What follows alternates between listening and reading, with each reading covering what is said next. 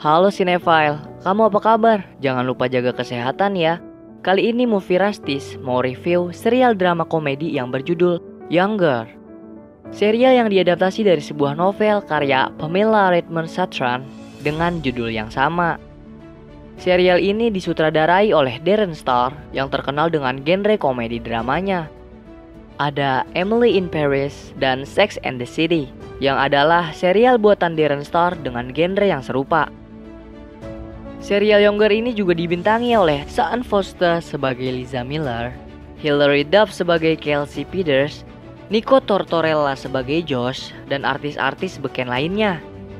Sekarang, Younger sudah memiliki 6 season, di mana setiap seasonnya ada 12 episode dengan durasi kurang lebih 20 menitan.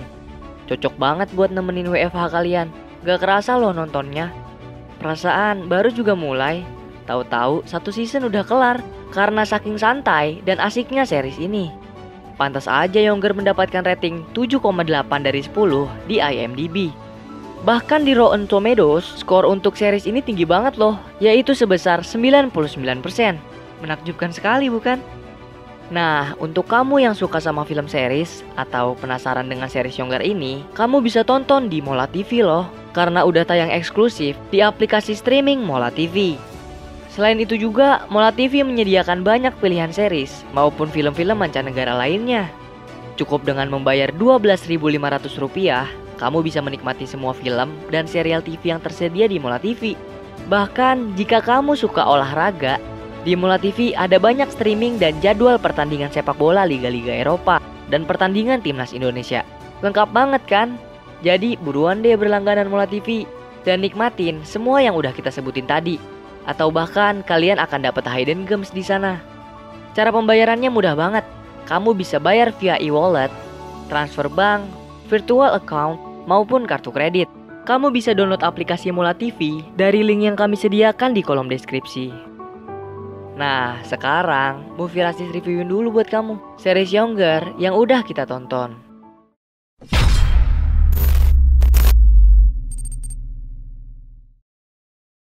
Serial ini menceritakan kisah Liza yang adalah seorang single parent berumur 40 tahun. Ia harus berpisah dengan suaminya karena hobi suaminya yang suka berjudi. Liza sendiri sudah dianugerahi seorang anak. Anak tersebut kini sudah beranjak dewasa dan sekolah di India.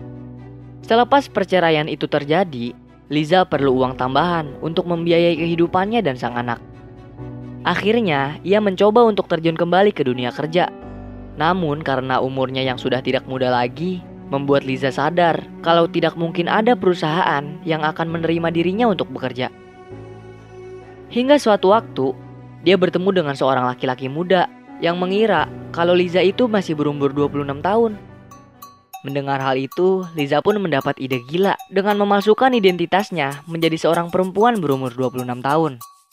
Dengan dibantu sahabatnya, dia mulai untuk mengubah penampilannya menjadi lebih muda, juga mengubah semua kartu tanda pengenalnya.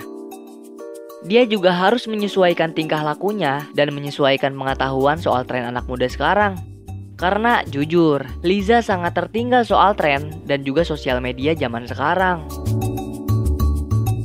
Karena hal itulah, dia diterima di sebuah perusahaan menjadi asisten pribadi kepala pemasaran di perusahaan itu. Bahkan, Liza langsung bisa mendapatkan sahabat di perusahaannya tersebut bernama Kesley yang berumur 20 tahunan tanpa memberitahu identitas aslinya. Dia juga menjalin hubungan dengan pria yang ditemui sebelumnya. Awalnya semua berjalan lancar, hingga muncul konflik yang mulai menghampirinya satu persatu. Dampak apa sih yang akan diterima keduanya akibat konflik tersebut? Lalu, sampai kapankah Liza menyembunyikan identitas palsunya? Apakah orang-orang yang mendekati dirinya akan tahu kalau ada hal yang telah dipalsukan oleh Liza? Banyak pertanyaan yang hanya akan terjawab ketika kalian menyaksikan series ini secara full. Dan seperti kebanyakan series lainnya juga, Younger akan membuat penontonnya terbagi menjadi dua kubu, yaitu tim Josh dan tim Charles. Dari segi alur cerita, serial Younger ini memiliki jalan cerita yang santai, tapi tenang aja, hal itu tidak akan membuat kita menjadi bosan kok. Kita akan disuguhkan komedi-komedi receh yang akan membuat kita terhibur. Konflik-konflik yang disajikan juga tidak membuat kita keras berpikir. malah membuat kita deg-degan sendiri pas nontonnya. Kami sangat terpukau dengan semua pemeran Younger. Tidak ada tokoh yang terkesan percuma di serial ini. Sean Foster sukses dan solid banget merani Liza sebagai karakter utamanya. Pantas aja kalau dia berhasil masuk nominasi Best Actress serial komedi tahun 2016 dan 2017 lalu. Begitu juga pemeran lainnya yang juga sukses menjalani peran masing-masing tanpa membuat karakter Liza kehilangan spotlight sebagai karakter utama. Visual yang disajikan juga cukup memanjakan kami. Berkali-kali kami dibuat terpukau dengan pemandangan gedung-gedung tinggi di kota New York. Bukan hanya hal itu, kita juga akan banyak disuguhkan dengan kehidupan metropolitan yang ada di series ini. Walaupun kelihatannya series ini cuma gitu-gitu aja, membahas seorang wanita yang memasukkan identitasnya dan konflik dirinya dengan sang pacar, ternyata ada beberapa pesan-pesan yang diselipkan yang bikin betah nonton sampai nggak kerasa udah habis. Seperti sahabat terbaik itu ternyata benar adanya, dan apa pun yang terjadi, hidup tetap harus berjalan. Masih banyak lagi deh pesan-pesan tersirat lainnya. Jadi, kesimpulannya untuk kamu yang suka drama series komedi yang kocak, kita rekomendasiin banget buat nonton series ini di mana jalan cerita yang terbilang santai dan komedi yang ada di setiap episode akan membuat kita ketawa-ketawa sendiri.